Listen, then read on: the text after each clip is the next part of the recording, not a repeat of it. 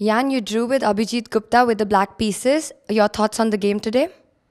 Uh, my my game today was very bad. I mean, I got worse position without any chances to play for a win, but um, luckily I managed to survive. Mm, yeah. Do you think he missed out something that could have been very dangerous for you in the game? Do you, is there any specific point? Okay, I think he should have exchanged all the rooks and play this position queen and knights versus queen and knights.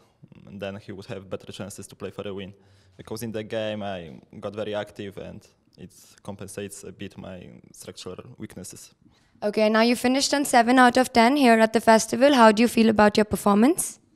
Okay, it's normal, I think. Not very good, but not very bad either.